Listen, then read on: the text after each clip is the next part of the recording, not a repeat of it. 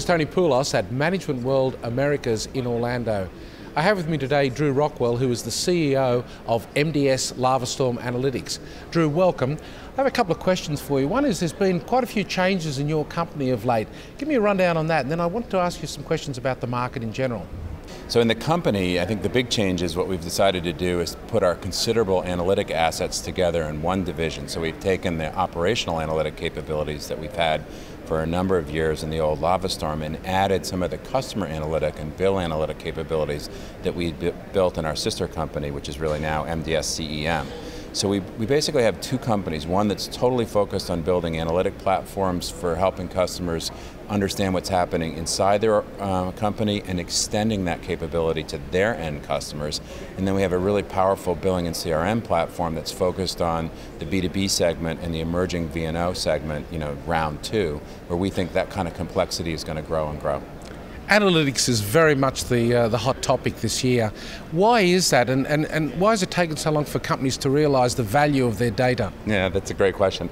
I think, I mean, I think it's hot because you know, as people talk about big data and the, the volumes of data, I mean, the communications industry has seen that for the last 20 years or so. I think um, I think what's making it hot is not only the data volume, but also people are starting to see the value of the complexity of the logic and how to understand what's really happening inside of the data. So it's one thing to be able to process billions and billions of records. It's another thing to be able to, to manage the complexity of really what's happening inside those um, records and understand, you know, what's wrong and what's right. And uh, so I, I, think that's what's making it hot. Um, your second question, I forgot. I'm sorry. Well, the other thing is it's the speed at which they want that information presented to them now, right. and the format of the presentation. Are you finding that a big driver? Yeah, absolutely. I think uh, you know, maybe three to four years ago, it was about dashboards and KPIs and, and trying to sort of visualize and see what see what's happening inside the organization.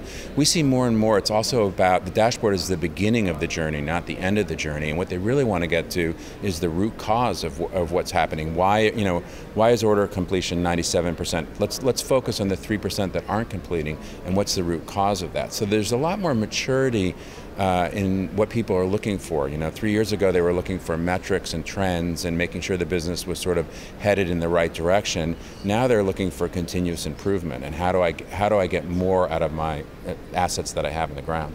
And who's driving that? Who's asking for that information now? Are the C levels understanding the importance of it? Yeah, I mean, to, to, to, us in our business, the CFO is a key, key stakeholder because he's really, he or she is really about accuracy. They're, they're, they're, they, what they're really in the financial reporting and as they run their business, they're trying to to make sure that what they're reporting is accurate. And so they're very, very interested in transparency and understanding what's happening in the, in the bowels of the business. And they they push beyond just the high level report, uh, the trend data and stuff like that. So we see the CFO as a key stakeholder. We see uh, customer experience as also a key stakeholder.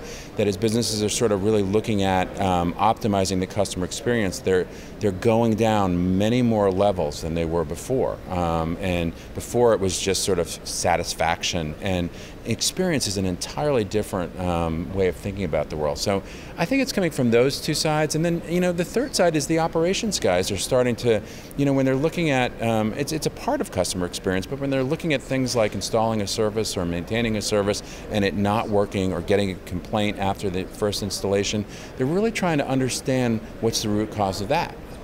Drew, it's been great talking to you again. Thanks for spending time with me today. It's great being with you, Tony.